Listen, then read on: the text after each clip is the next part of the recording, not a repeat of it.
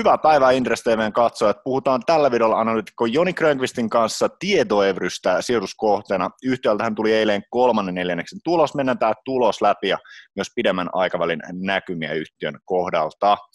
Joni, aloitetaan kolmannesta kvartaalista. Miltä luvut näyttivät analyytikon silmään? No, luvuthan pystyy aika hyvin niin indikoimaan, että yhtiöhän palotti tuossa viime viikolla jo koronaan edeltävän ohjeistuksen, ja sen myötä niin, niin se loi nousupaineita. Mehän päivitettiin kanssa, päivitettiin ennusteitamme vähän ylös viime viikolla ja markkina, markkinaennusteisiin semmoinen noin 5 tai vähän reilu 5 prosenttia niin laittoi nousupainetta. Et tiedettiin, että tulostaso on kova, kova, kova nyt Q3. No, tulos, oikastu liikevoitto ylitti vähän meidän ennusteet, mutta sitten ehkä kertaerät oli Q3 oli kyllä meidän ja markkinoita korkeamman. Se oli kuitenkin linjassa yhtiön tämän vuoden ohjeistuksen kanssa, mikä tarkoittaa se, mitä yhtiökin sanoi konferenssipuolella, että Q4 niin nähdään huomattavasti pienemmän kertaereen. Että jos miettii tuota eilistä kurssireaktiota ja tämän päivästä, no okei, tänään tullaan varmaan osittain myös markkinan mukana alas, mutta, mutta eli, eli omasta mielestä niin tuosta kertaeristä niin, niin ei kannattaisi huolehtua, että ne oli linjassa aikaisempi, aikaisempaan ohjeistukseen, että siinä ei niin kuin, siinä mielessä ollut yllätyksiä. Sitten jos liikevaihto, se jäi ehkä vähän ee, enemmän odotuksista, ee, tai, tai jäi odotuksista, siellä korona painaa tietoa Evryssä vähän enemmän, mutta yhtiö pystyy, niin kuin aikaisemmin on sanonut, aika hyvin niin kuin sen liikevaihdon laskun efektin niin, niin, niin kuitenkin kompensoimaan tehostamistoimilla ja niin poispäin, että tuloksessa se ei näy yhtä voimakkaasti. Tässä vuodenvaihteessa tulee vuosi täyteen siitä, että Tieto ja Evry ovat toimineet yhdessä ja yhtiö järjestää pääomamarkkinapäivän noin kuukauden kuluttua. Millaisia odotuksia sulla on tähän pääomamarkkinapäivään?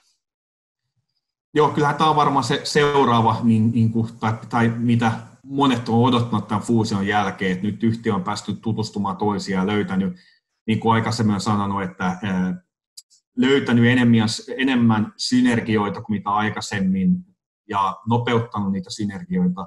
Nyt haetaan ehkä enemmän sitä pitkää aikaväliä ja minkälaisia, minkä, minkälaisia ajatuksia strategian kannalta niin tällä kokonaisuudella, että mihin, mihin tällä pystytään tekemään. Eli kyllä sieltä niin kuin odotetaan pitkän aikavälin tavoitteita kasvun ja kannattavuuden osalta.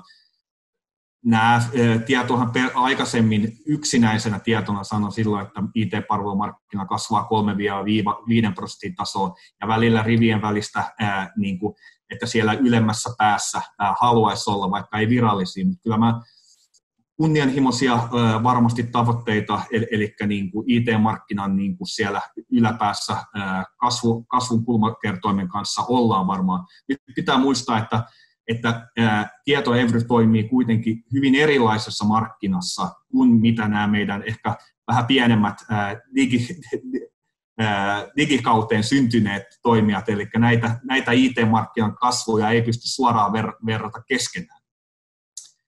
Sitten taas jos miettii niin kuin kannattavuutta, niin, niin, niin ää, yhtiöhän hakee tällä hetkelläkin jo koko ajan tehostamisia ja, ja synergioita ja, ja tuolla toi Industry Software paukuttaa tällä hetkellä todella kovia kannattavuuslukemia.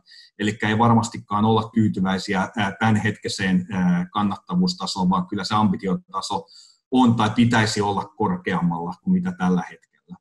Sitten tietenkin ehkä yksi niin kuin tietoevryssä tärkeimpiä palikoita tai mitä, mitä monet on varmasti katsoo, niin osinkotuotto, että yhtiöhän on sektori, meidän Suomen sektorin kuitenkin vakaampia, vakaimpia ja, ja, ja, ja stabiilempia ja matalle riskisimpiä yhtiöitä, just koska yhtiöllä on lonkerot kaikissa markkinoissa maantieteellisesti ja monella osa-alueella. Eli kyllä sieltä varmasti, ja ei tarvi niin paljon ää, tota,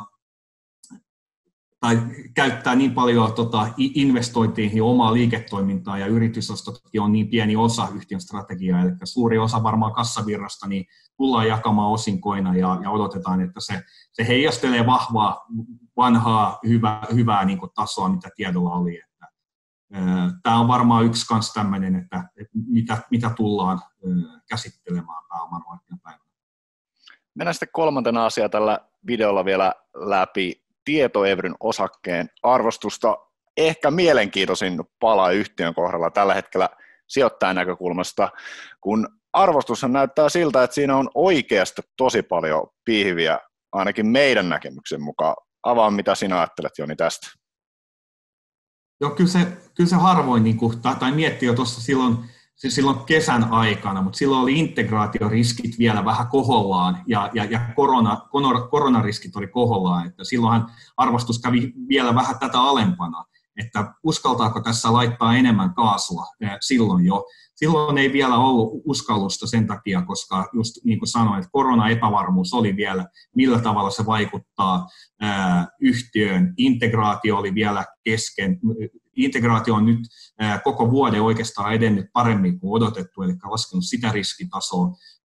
IT-palvelusektori ja tieto on osoittanut, että pystyy aika hyvin navigoimaan kuitenkin tässä korona-epävarmuudessa – ja, ja varsinkin niin kuin tulostason vaikutukset on pienet. Ja siinä mielessä niin kuin riskit on, on meidän mielestä kesä ää, matalemmat, ja sitten on hyvä muistaa, että niin kuin aikaisemmin tuossa sanottiin kanssa, että tieto Evro on kuitenkin sektorin vakaimmista yhtiöistä, että tulostaso ei niin paljon heilu. Totta kai pitää muistaa, että yhtiöllä on suuremmat kertaerät kuin, kuin, muilla sektorilla, ja sitä, se pitää huomioida.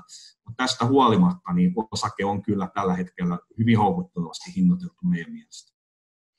Kiitos Joni näistä kommenteista. Lopetetaan tähän. Jos tietoevry kiinnostaa sijoituskohtana, niin löytyy lisää analyysiä yhtiöstä. Tässä vaiheessa toivotellaan hyvää viikonjatkoa. Muistakaa lukea analyysiä ja tehkää hyviä osakepoimintoja.